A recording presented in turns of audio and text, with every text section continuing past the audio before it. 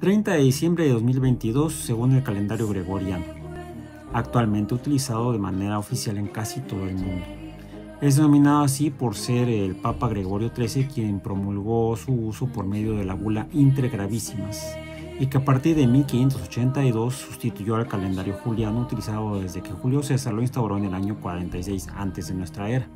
El calendario juliano era básicamente el calendario egipcio, el primer calendario solar conocido que estableció la duración del año en 365.25 días.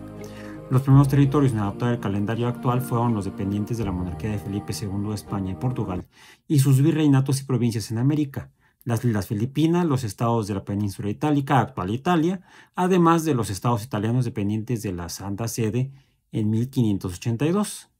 En cambio, el Reino Unido de la Gran Bretaña y sus colonias americanas no lo hicieron hasta 1752.